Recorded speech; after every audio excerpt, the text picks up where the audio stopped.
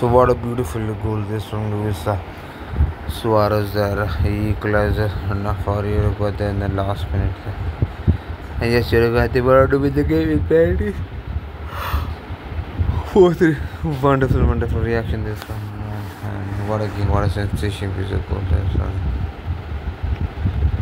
so that's it, 18 for the state established from my Wonderful, wonderful. wonderful. Really hope you like this video. Yes, Luis Suarez has scored the equalizer there against Canada It be his uh, last, last uh, international game before the World So that's it. Stay tuned for the series update. Oh, that's uh, and uh, what a game, what a sensation. so well, uh, well, so I'll give you lots of updates here and lots of games. So that's a wonderful, wonderful equalizer for you for a High. They on to win the game, then penalties there also.